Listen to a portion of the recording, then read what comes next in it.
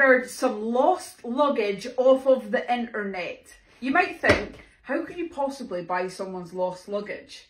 Well, when you don't collect it, it goes to auctions, then we buy it and donate it to charity. So we've already opened this online, but the thing about this one is they have to be close to us. So we're going to show you what we got in this and see if we can find them. We need to show you guys the suspicious cues that make us think they've got to live within a two hour radius around us. Let's go.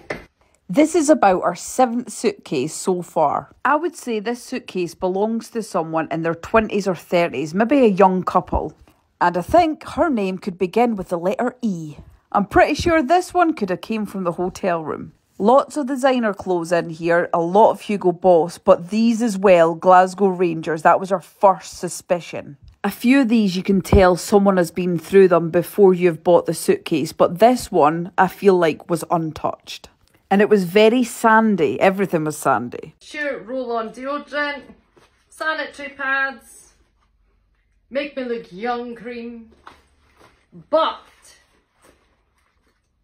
the bonus ball in this was a souvenir coin of the Blackpool Tower. Blackpool is only an hour and 40 that way and Glasgow is only about an hour and a half that way. So they've got to be near us somewhere. They've got to be. Is this your clothes? Let us know.